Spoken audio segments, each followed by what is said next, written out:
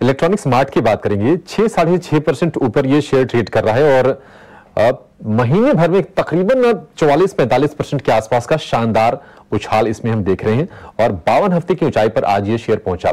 कल भी इसमें मच्छा मूव दिख रहे थे। मोहित, जरा इसके बारे में बताइए इलेक्ट्रॉनिक स्मार्ट के बारे में। किस तरह की चाल आप आगे देख रहे हैं? क्योंकि ये बावन हफ़्ते की ऊंचाई पर है। यहाँ से भी ले सकते हैं या फिर किसी करेक्शन का वेट करें इसमें? तो जहाँ तक इलेक्ट्रॉनिक मार्ट का सवाल है, हम रिटेल सेक्टर को काफ़ी क्लोजली ट्रैक करते हैं। हमारे रिटेल सेक्टर में इन्वेस्टमेंट भी है।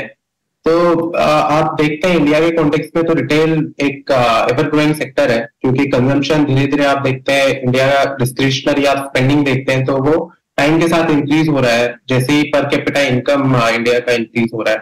तो डेमोग्राफिक चेंजेस देखते हुए ये सारी कंपनीज़ वैल्यूएशन आप एक बार देखिए तो अच्छा करेगी। और मैं क्लेरिफिकेशन ज़रूर देना चाहूँगा। जैसे आपने बोला था कि जिनके क्यू वन के रिज़ल्ट वीक थे तो उसमें मैनेजमेंट ने क्लेरिफाई किया है कि जो सप्लाई एग्रीमेंट्स के चलते और करेंसी शॉर्टेज जो था, उसके चलते जो उनके पीएफआई के ऑर्डर्स थे, वो नेक्स्ट कुछ क्वार्टर में शिफ्ट हो गए। Q2 और Q3 में जो ट्रैक बैक हो जाएँगे। तो वो एक टेम्परेरी बिज़नेस का सिचुएशन था। वापस अगर अपन इलेक्ट्रॉनिक स्मार्ट पर आते हैं तो रिटेल सेक्टर ही हमें बहुत अच्छा लगता है। और रिटेल सेक्टर में हमारा रेड टेप लिमिटेड जो कि अभी हाल ही में लिस्ट हुई है, उसमें इन्वेस्टमेंट है।